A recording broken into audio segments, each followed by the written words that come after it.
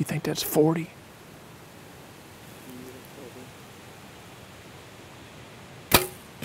Oh, that was a good shot. Once again, the dead meat saves the day.